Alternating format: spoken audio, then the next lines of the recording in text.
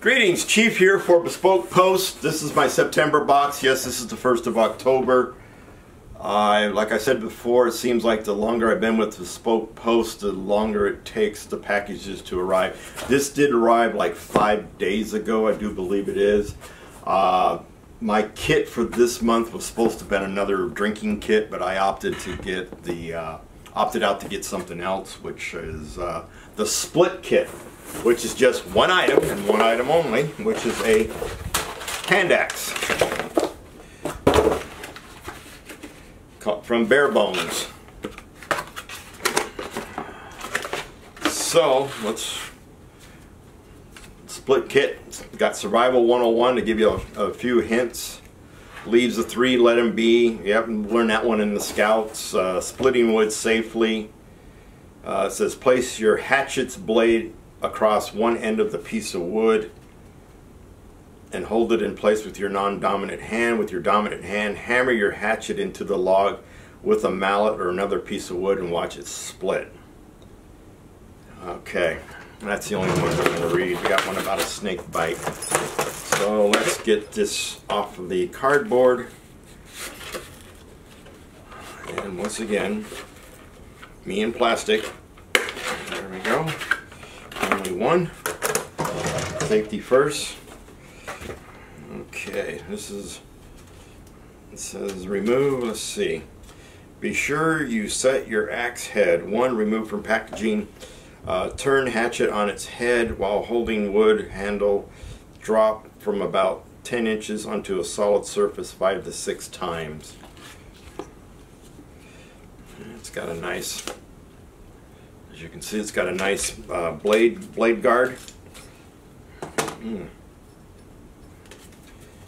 And we've got this, which is a tie, Barebones field hatchet, elevate life outdoors, uh, utility inspired design, a 4 inch blade with rear hammer, uh, cast 1055 high carbon steel beechwood handle, rugged and mold resistant 900D polyester sheath and a one year limited warranty.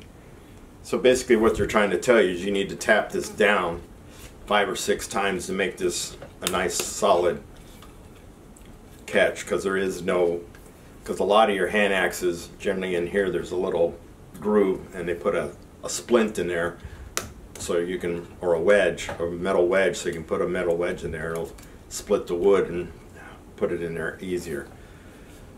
It's got a good heft to it. I mean,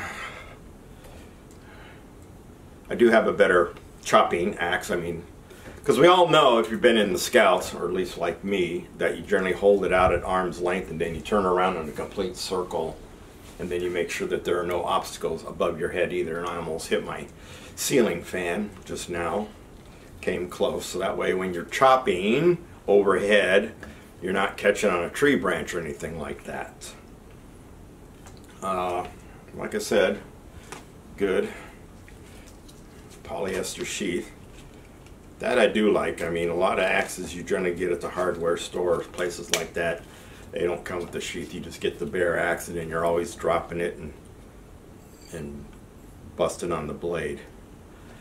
Uh, update I did not blow up the cushion from Klymit uh, on my trip it seemed like every plane I actually flew on my recent trip uh, all the planes seemed to be almost new and the seats were not that bad I did take one of the uh, zip ties and I used it basically to put uh, I had to park my car at the uh, airport. So I took both my car keys and I zip tied them inside my backpack which I put inside my carry-on. So you had to be a real good thief to get either one of my keys. And plus when I got to my hotel they have a safe so they went together in the safe. And then when I came home I thought I almost lost them even after zip tying them because like a dummy for some reason I unzipped every pocket of my backpack inside my carry-on and then when I went to grab my backpack out of my carry-on when I got to my final destination to get back to my car I panicked because the pocket I thought I put the keys in was wide open and I'm like oh god they just well I would have heard them fall out and landed on the cement but